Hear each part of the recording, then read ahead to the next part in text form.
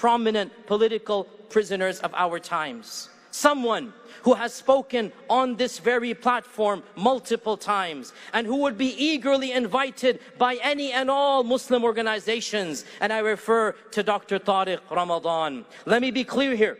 This is not about what he has been accused or not accused. This is not about the alleged crimes. This is about the very clear fact of him being treated differently simply because he is Muslim, of having been dragged into custody, put into isolation, in solitary confinement, deprived and denied of medication for months on end without even being convicted of a crime, whereas many other people accused of much worse in that land are walking away scot-free. I say this loud and clear of Muslim organizations who were so eager to invite Dr. Tariq Ramadan, who were so prominently advertising his presence on your own stage. Your silence in the face of this travesty of justice is deafening.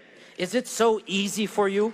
Is it so easy for you to abandon your own Muslim brother? What a shame. And we learn from the seerah, we will not be silent.